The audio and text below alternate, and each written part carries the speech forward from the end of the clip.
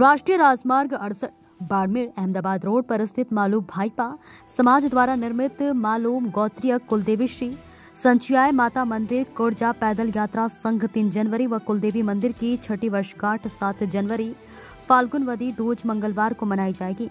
मालू भाईपा समाज के अध्यक्ष प्रकाश चंद मेहता ने बताया कि माघ सूदी त्रयोदशी मेले के उपलक्ष्य में बाड़मेर से कोरजा पैदल संघ तीन जनवरी को प्रातः छह बजे माणक हॉस्पिटल से रवाना हो गया। जो 12 किलोमीटर पैदल सफ़र कर कुर्जा पहुंचेगा, जहाँ पर प्रसादी का आयोजन किया जाएगा और मालू भाईपास समाज द्वारा निर्मित मालू गौत्रीय कुलदेवी श्री संचुआ माता मंदिर कुर्जा की छठी वर्षगांठ स्थानीय पंडित के पावन सानिध्य में प्रातः साढ़े दस सात बजे, यज्ञ आठ बजे पूर्ति पैच। मूर्ति पक्षाल ग्यारह बजे, प्रसादी दोपहर बारह बजकर उनतालीस मिनट पे, विजय मुहूर्त में कुलदेवी संचियाय माता। मंदिर की ध्वजा, लाभार्थी परिवार, मांगीलाल, आसूलाल, गोप, चंदुर।